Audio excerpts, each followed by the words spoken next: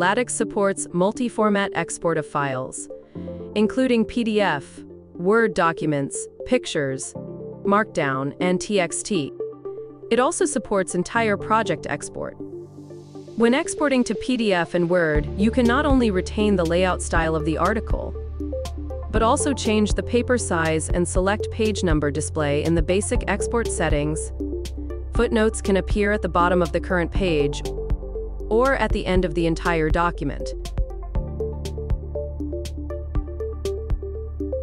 By default, the page is paginated by article. You can choose to page by separator lines inserted into the article to control the export results more precisely.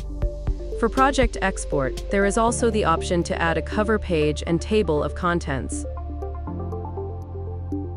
In the advanced settings, you can style the page header, add logos and text, and enhance the brand or authoritative attributes of the content.